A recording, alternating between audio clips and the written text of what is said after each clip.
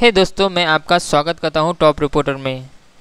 आज मैं आपसे बात करना चाह रहा हूँ, अपने पॉइंट ऑफ़ व्यू शेयर करना चाह रहा हूँ। मद्रास हाई कोर्ट ने जो ऑर्डर दिया है सीबीएसई को 196 मार्क्स बोनस देने के लिए, वो गलत है या सही? है जैसे कि आप सभी को पता है कि मद्रास हाई कोर्ट ने सीबीएसई को ऑर्डर दिया है कि उन सभी स्टूडेंट को 196 मार्क्स बोनस में दिया जाएगा, जिन्होंने तमिल लैंग्वेज में एग्ज़ाम दिया था।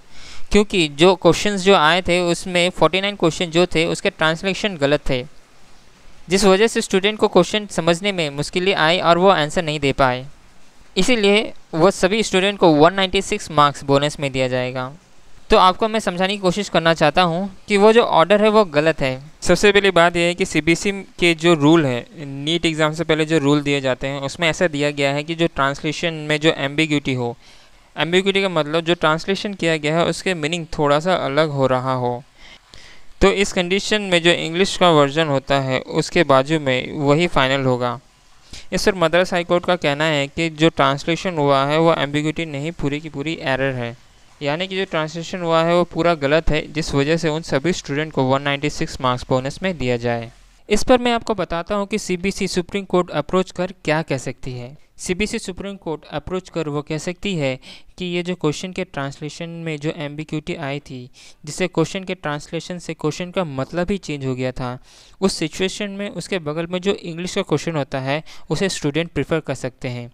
क्योंकि क्वेश्चन जो बनता है, वो पहले इंग्लिश में होता है, उसके बाद ही उसका ट्रांसलेशन होता है। ट्रांसलेशन कभी कभी परफेक्ट नहीं होता।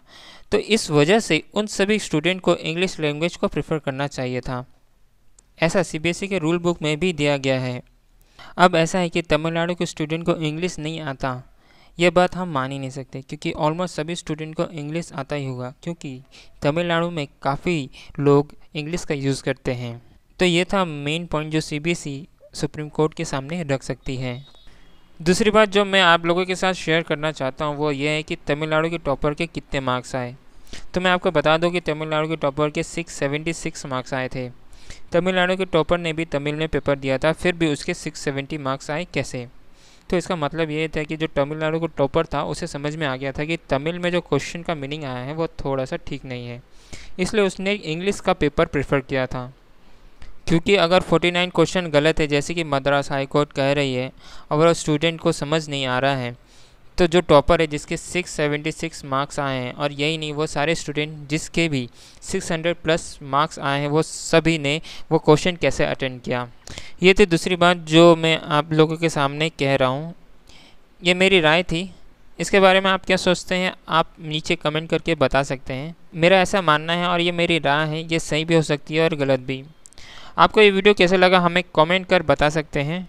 ये वीडियो आप अपने फ्रेंड्स के साथ भी शेयर कर सकते हैं। ऐसा ही वीडियो और भी पाने के लिए हमारे चैनल को सब्सक्राइब करिए और नोटिफिकेशन के लिए बेल आइकन को दबाना ना भूलिए, ताकि ऐसे ही वीडियो आपको मिलता रहे। धन्यवाद।